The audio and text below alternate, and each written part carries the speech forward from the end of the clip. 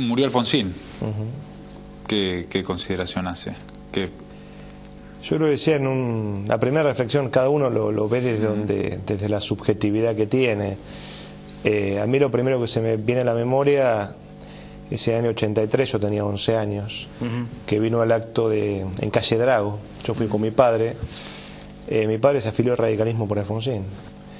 Y este, yo obviamente lo veía de lejos, me subí un paragolpe de un citrón para ver el, acto y realmente fue una de las cosas que a mí en lo personal me marcó como orador en, la vocación pública, un hombre que transmitía y supo interpretar muy bien y representar muy bien los valores de una sociedad en un año como el 83.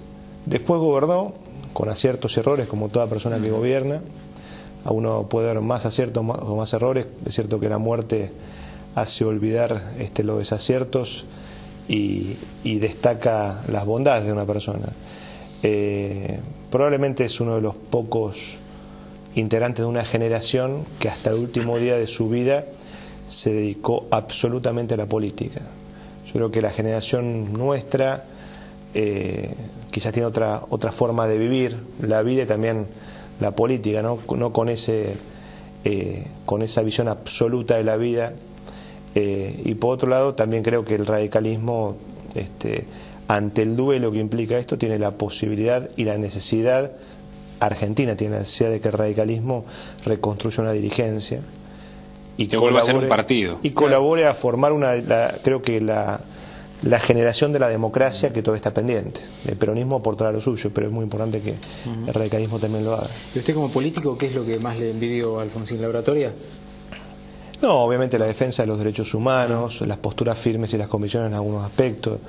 Em, em, por ahí, obviamente, eh, Alfonsín tenía como ese político, digamos, de, de eh, de, otra madera, digamos, este, una visión del poder este, difícil, compleja, este, pero realista.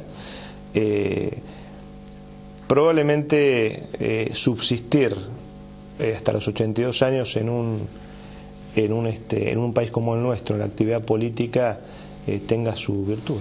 Escuchaba algunos informativos nacionales que dicen el último gran estadista, no sé si es, si es así, usted comparte esa opinión o es una frase hecha?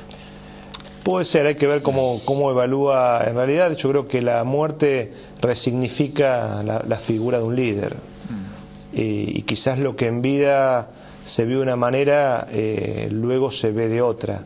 Y quién sabe cómo lo van a legitimar o a justificar también.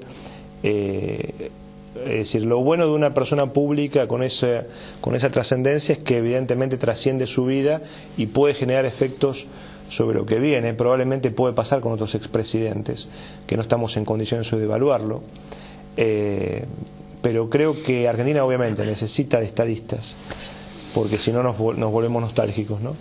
y necesita una generación eh, de una democracia que venga a reparar lo que en el 83 todavía Alfonsín esbozó como bandera y que no era exclusivo del radicalismo, sino que era toda Argentina.